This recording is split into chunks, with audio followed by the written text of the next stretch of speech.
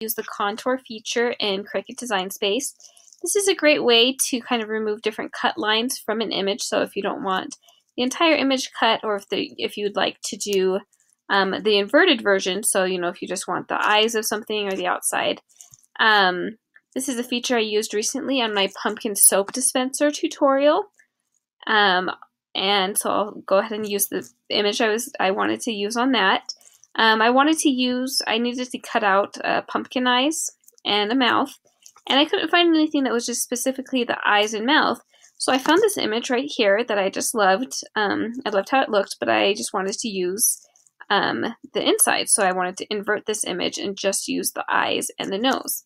So I'm going to select the image, press insert, um, the contour button is down in the right, uh, in the bottom right hand corner of design space.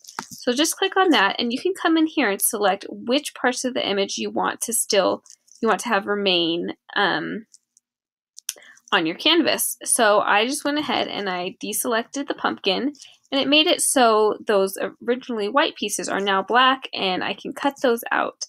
Um, you can hide um, so let me go back over here and then just press the exit button. It automatically saves.